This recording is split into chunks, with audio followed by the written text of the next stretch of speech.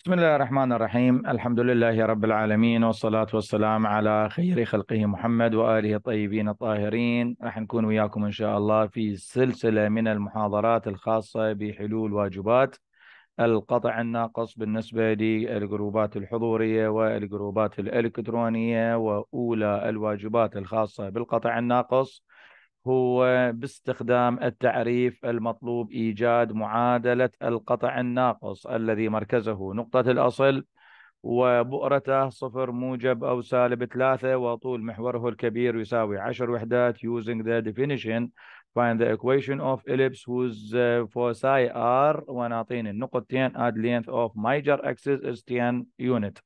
إذا هنا استخدام التعريف مثل ما متفقين. نحتاج إلى مجموعة من الخطوات وعددها عددها عشر خطوات وأكيد في بادئ الأمر راح أجي أثبت البؤرتين اللي هي صفر موجب سالب ثلاثة اللي هي صايرة على محور الصادات وأثبت البؤرتين وأرسم الرسم العمودي وأختار نقطة تنتمي إلى القطع الناقص بحيث يكون بعدها عن البؤرة الأولى زائد بعدها عن البؤرة الثانية يساوي 2A إذا هنا أولى الخطوات الرئيسية لمعرفة أو لإيجاد معادلة القطع الناقص باستخدام التعريف هو الرسم. إذا أولا الرسم أثبت البؤرتين أثبت النقطة اللي تنتمي إلى القطع الناقص أوصلها مرة مع البؤرة الأولى ومرة مع البؤرة الثانية ومن ثم البدء بالخطوات العشرة إلى التعريف.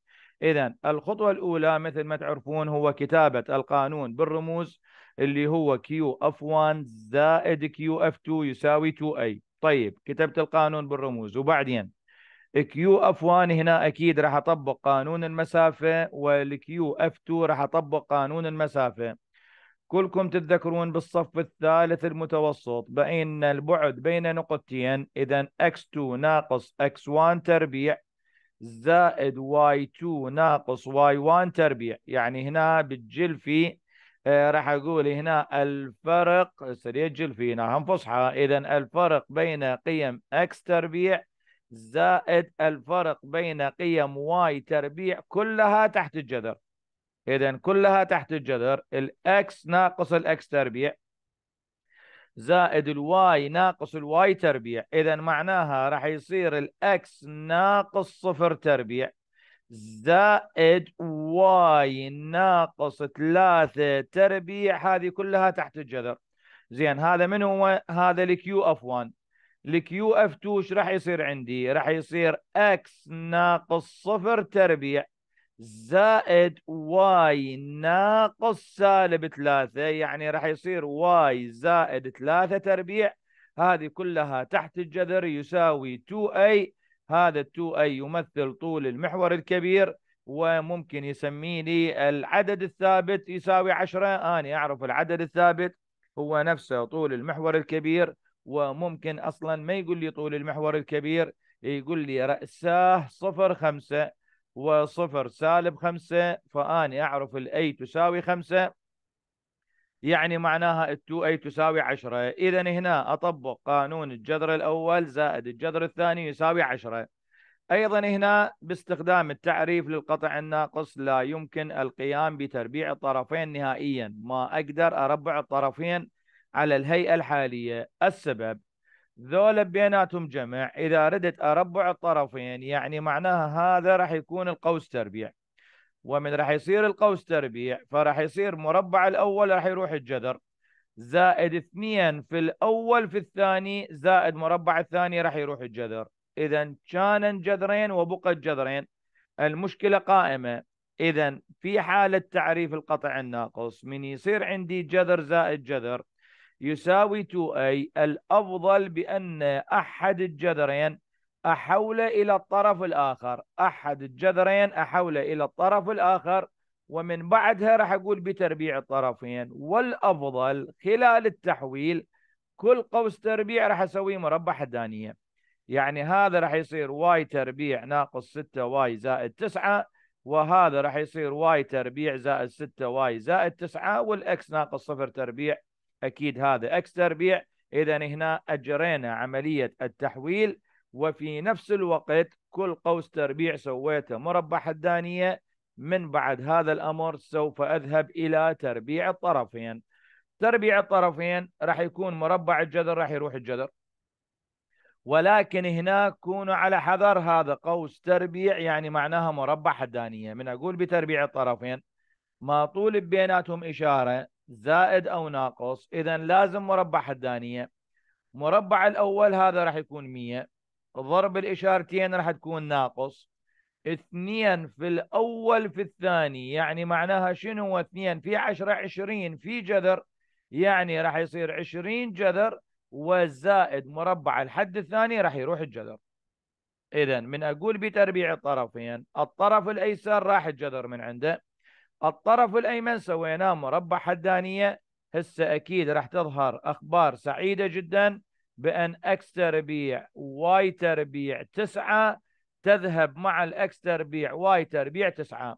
إذا أي حد جبري في حالة جمع أو في حالة طرح بالطرف الأيمن والطرف الأيسر بنفس الإشارة يحذف. باعتبار هنا راح يصير أكس تربيع ناقص أكس تربيع صفر واي تربيع ناقص واي تربيع صفر وهكذا. الخطوة اللاحقة بالتعريف بأن هذا الجذر راح أرجعه لمكانه هو والعشرين. هذا الجذر راح أرجعه لمكانه يعني راح يرجع إلى الطرف الأيسر. وسالب عشرين راح يصير عندي موجب عشرين جذر.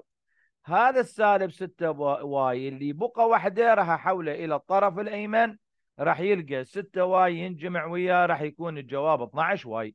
إذا معناها العشرين جذر رجعت لمكانه. والمية بقت على حالها سالب 6 y. زائد هنا تحولت إلى الطرف الآخر إذا 6 y. و6 y راح يكون عندي 12 واي. هسه أقسم على 4 أقسم على 8 أقسم على 12 بجوز ما أقسم إذا أكو عدد يقبل القسمة على الكل راح أجي أقسم. أكيد العشرين على 4 راح تكون 5 المية على 4 راح تكون 25 ال 12 على 4 راح يكون عندي 3 إذا بمجرد إجراء عملية التقسيم سنقوم بتربيع الطرفين مجددا. إذا مربع الخمسة هذا 25 مربع الجذر راح يروح الجذر ولكن كونوا على حذر لازم أخليها داخل قوسين. لازم أخليها داخل قوسين. وهذا راح يكون عندي مربع حدانية 625 مربع الأول زائد 2 في الأول في الثاني. راح يصير 150 واي زائد مربع الحد الثاني اللي هو 9 واي تربيع بمجرد إجراء هذه العملية. أكيد الخطوة اللاحقة ال 25 تنضرب مرة بالأول ومرة بالثاني ومرة بالثالث ومرة بالرابع والطرف الأيمن يبقى على حاله. خبر سعيد آخر 150 y ويا ال 150 y هذه راحت. أجعل المتغيرات بطرف والثوابت بطرف. هذا التسعة y تربيع ينتقل للطرف الآخر 25 ناقص 9 راح يصير عندي 16 y تربيع 225 تحول إلى الطرف الآخر راح تصير 125 ناقص 225 400 يعني معناها راح يكون 25 x تربيع زائد 16 y تربيع يساوي 400 بمجرد أن أقسم على 400 راح يوصل نوصل إلى الجواب المطلوب.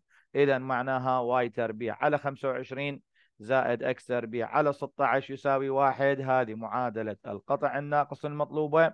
عملية الجمع عملية إبدالية. اللي كاتبها x تربيع على 16 زائد y تربيع على 25 يساوي واحد. تعتبر الإجابة صحيحة ولا إشكال فيها. إذا هذا ما يخص الدرس الأول في حلول الواجبات. سيكون لنا لقاء متجدد معكم والدرس الثاني من حلول الواجبات والمطلوب إيجاد بؤرتين رأسين قطبين اختلاف مركزي طولي محورين لهذين القطعين الناقصين انتظرونا.